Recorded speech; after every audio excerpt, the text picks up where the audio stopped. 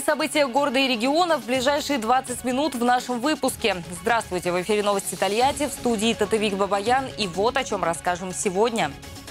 Женщины, военные врачи, педагоги, водители, полицейские. Накануне 8 марта глава региона Дмитрий Азаров поздравил жительниц Самарской области. Торжественный вечер прошел в областной столице. Красивые букеты для красивых женщин. Несколько тысяч гиацинтов доставили на АвтоВАЗ. Их получат сотрудницы не только автогиганта, но и дочерних предприятий в Ижевске и Санкт-Петербурге. Чтобы птиц не било током на электропроводах, птицезащитные устройства современного типа. Эту необычную продукцию делают у нас в Тольятти. Репортаж с производственной площадки покажем сегодня. Самый нежный, трогательный и женственный день в году. В Самарской области отмечают первый праздник весны. Накануне 8 марта губернатор Дмитрий Азаров лично поздравил женщин с наступающим праздником. Торжественный вечер прошел во Дворце спорта «Высоцкий» в областной столице. В зале педагоги, врачи, работницы промышленных предприятий, многодетные мамы, жены и мамы военнослужащих. Губернатор поблагодарил их за внимание и заботу, которые они дарят своим близким. Сегодня, когда мужчины стоят на защите интересов родной страны, это особенно важно.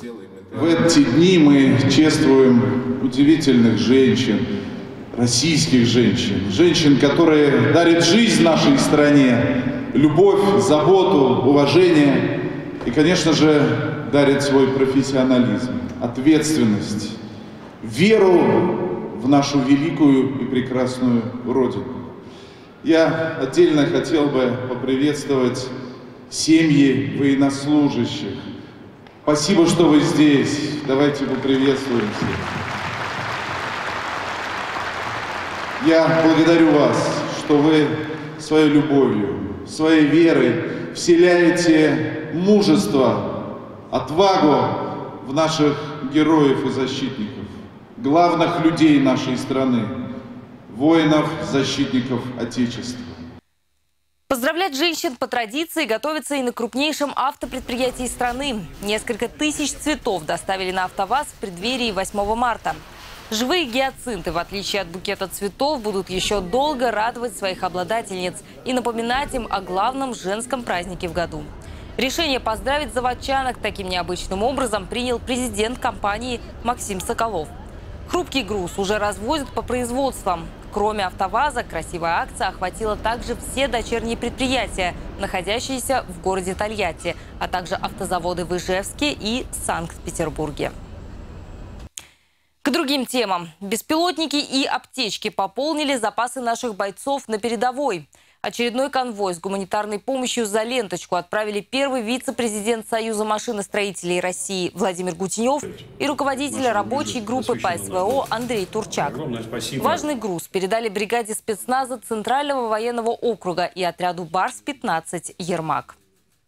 Сейчас мы передаем очередные 58 квадрокоптеров, тактические аптечки и большое количество батарей. Мы знаем, что им не, необходимо. Хочу поблагодарить Андрея Анатольевича вас, что благодаря э, сформированной комфортной площадке общественные организации вместе с партией «Единая Россия» реализуют такие проекты. Это нужно не только ребятам, это нужно нам, тем э, работникам оборонных предприятий, машиностроительных предприятий, потому что нас это всех вместе объединяет, ну и я уверен, помогает, приближает нашу победу.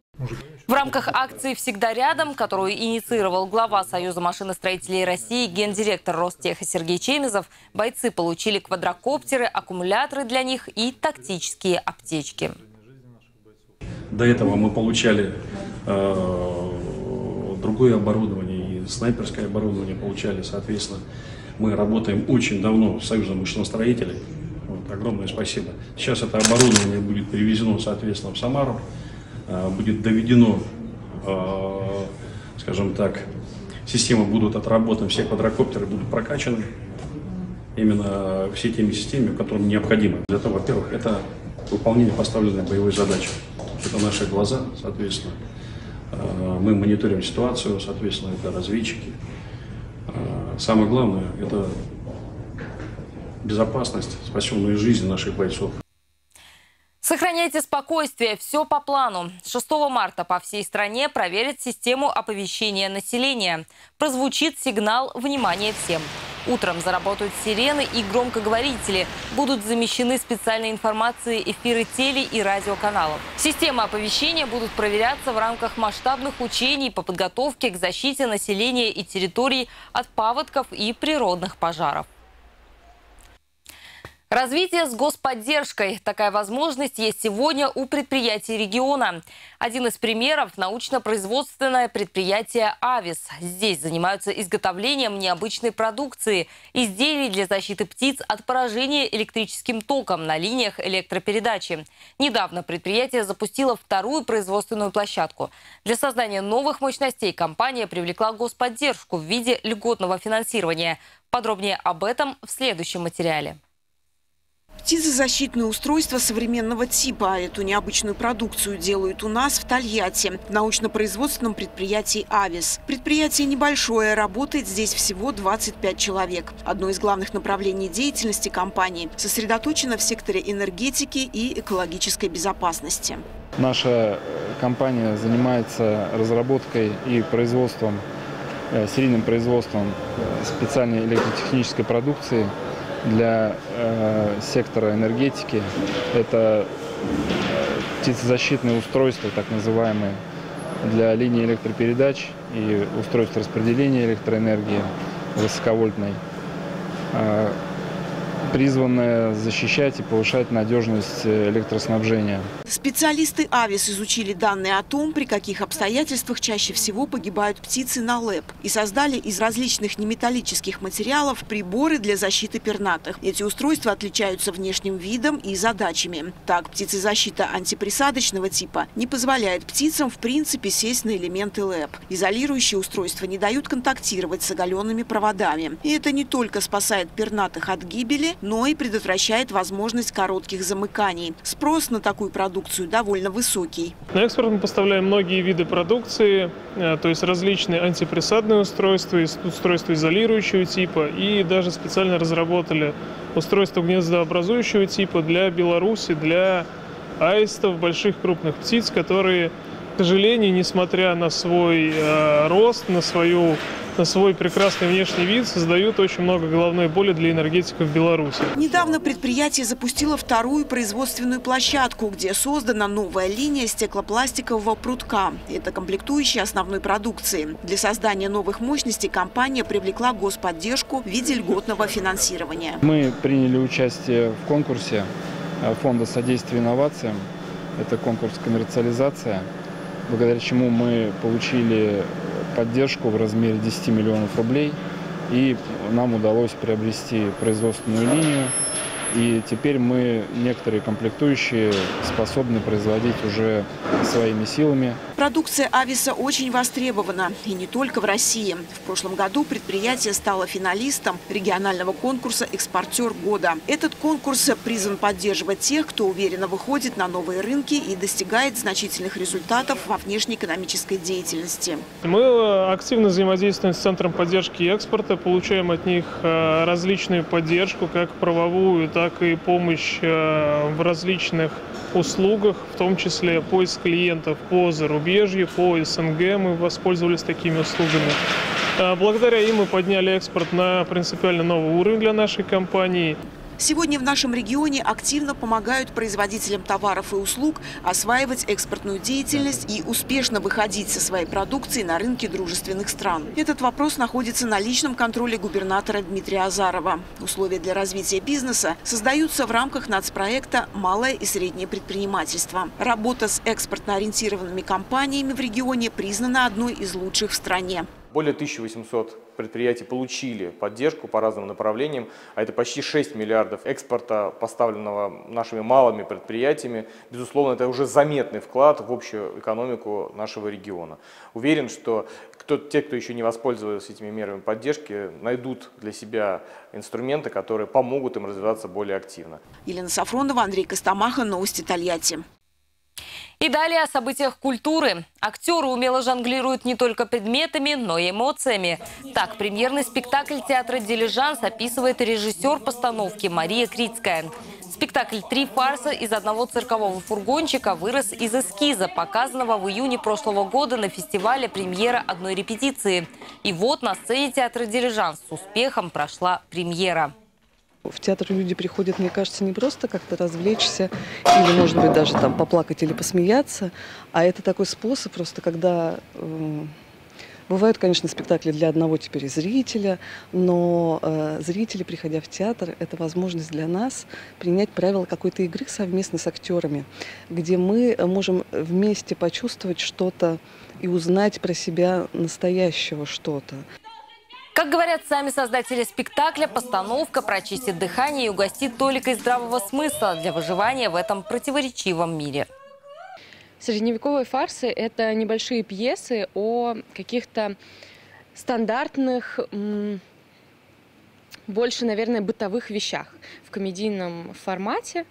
И у нас э, три фарса, они совершенно разные, но так или иначе связанные с жизнью людей – Сергей Войтенко, композитор, виртуозный баянист, который сегодня известен на всю страну, побывал в студии телеканала «Тольятти-24». Автор и исполнитель, заслуженный артист Российской Федерации, депутат Самарской губернской думы. Каждый час у Сергея Войтенко расписан буквально по минутам. Выступления на концертах в разных городах, съемки клипов, записи новых песен, участие в эфирах федеральных телеканалов. Я русский и этим горжусь. И как бы земля не шаталась Я в полный голос сказать не боюсь. Я русский и русским останусь в течение всей своей насыщенной творческой жизни Сергей сохраняет и развивает лучшие музыкальные традиции, открывает новые творческие горизонты и прославляет уникальную российскую культуру во всем мире. О музыке, любви к своей стране, о поддержке бойцов специальной военной операции музыкант рассказал в интервью генеральному директору компании «Лада Медиа» Ирине Денисовой. Я знаю, что в вашем творчестве вот эта тема Родины имеет такое основополагающее значение, да? Но я хотела вас спросить, а когда эта тема прочно вошла в ваше творчество? И где вот тот родник, который напитал вас этой любовью? Может быть, в детстве какие-то воспоминания, не знаю, общение с родителями, родительский дом? Оно зародилось ну, с самого раннего детства. Потому что, во-первых, я рос в деревне, здесь в Богдановке, в селе Богдановке Нефтегорского района. Ну, как рос, я приезжал просто на лето к бабушке, и бабушка, она пела русские народные песни. Она всегда говорила о том, что вот сынок — это родина. Она не внучок называла, а сынок. Сынок. Да.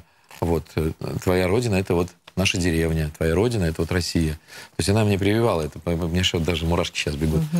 когда вспоминаю. Смотрите программу «Актуальный разговор» в среду 6 марта в 19.20 на телеканале «Тольятти-24» и во всех наших интернет-ресурсах. Во Дворце спорта «Волгарь» прошел мастер-класс от чемпионов мира по самбо. Все подробности в нашем следующем сюжете. Вместо бального платья – кимоно. Вместо танцевального паркета – борцовский ковер. В отличие от большинства своих сверстниц, Амелия Андреюк занимается не гимнастикой, не балетом и не фигурным катанием. Семь лет назад ее выбор пал на боевое искусство – самбо. Мне брат подсказал, он тоже занимался, я решила посмотреть. Я много раз приходила, смотрела, как он занимается, и тоже решила. И вот занимаюсь уже долго. Девочек здесь мало, но все-таки есть. Это для кого как. По мне вот этот вид спорта, да. Для таких же молодых, увлеченных спортсменов, как и Амелия, во Дворце спорта «Волгарь» состоялся мастер-класс по самбо. Его провели чемпион мира Михаил Мохнаткин и чемпион Европы Владимир Березовский. Много всяких элементов мы с годами сами дорабатываем, сами зарабатываем. И ребята смотрят, они просто такого не видели, и мало кто это знает. Вот, делимся, передаем им опыт. Мы здесь какие-то показать, э, может быть, какие-то для них новые вещи, может быть, какие-то не новые, э, может быть, какие-то... В каждом приеме есть свои мульки, какие-то фишки, где-то и показать их, чтобы они в дальнейшем применяли. Э, немного будет партера, немного стойки. Гусейн Гулуев занимается самбо уже 10 лет. В Тольятти он один из лучших спортсменов в своем весе. За его плечами опыт участия в городских и областных турнирах по самбо. Сейчас Гусейн готовится к соревнованиям Приволжского федерального округа. В планах отобраться на Россию. Почему пришел на чемпионский мастер-класс, отвечает просто. Для того, чтобы набирать какой-то опыт в плане даже знаний, увеличить свой арсенал, как и ну, физически каких-то приемов, так и вообще советов, то есть видеть борьбу других людей, видеть их тактику. Вот мы легли, придавили, вытаскиваем, все, на бок сбили, он как бы отключен, и мы его докатили, все, прижались на удержание. Мастер-класс для спортсменов был организован некоммерческой общественной организацией «Северный человек Тольятти» при участии Федерации дзюдо и самбо и поддержке администрации городского округа Тольятти. Мероприятие объединило самбистов из разных спортивных сообществ Самарской области. Это национальный вид спорта, один из красивейших видов борьбы и э, мы за то, чтобы самбо было в каждом дворе, в каждой школе, э, чтобы как можно больше э, и детей, и взрослых включались в здоровый образ жизни и э, в разные виды, в том числе, естественно, э, начинали заниматься борьбой самбо. Проведение мастер-класса в Тольятти дало старт первенству Самарской области по самбо. Его призеры войдут в новый состав сборной губернии и будут представлять наш регион на предстоящем первенстве ПФО в Кирове. Денис Капля, Алексей Клоков. Новости Тольятти. А теперь о погоде. Спонсор рубрики «Салон штор Аллегра». Шторы Аллегро. Огромный выбор и доступные цены на шторы, карнизы, жалюзи. Весь март – бесплатный пошив. Магазин-склад на автозаводском рынке. Въезд на территорию с улицы Воскресенской. Аллегро. Уют вашего дома.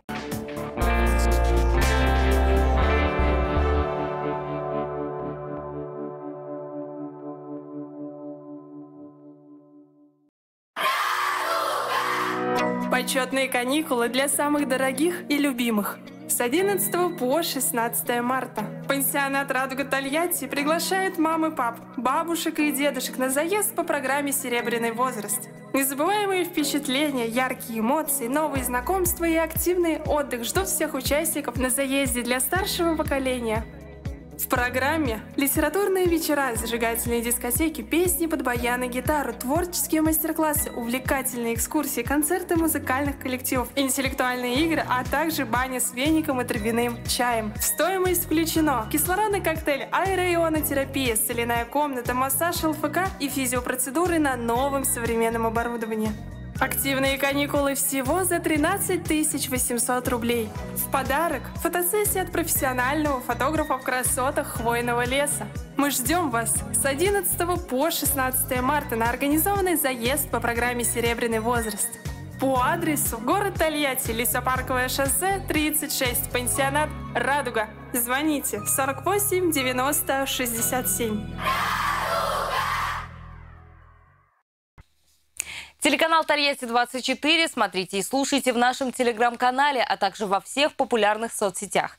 Новости, прямые трансляции, интервью, фильмы и сериалы. Телеканал Тольятти-24 всегда самое важное и интересное – это телевидение родного города.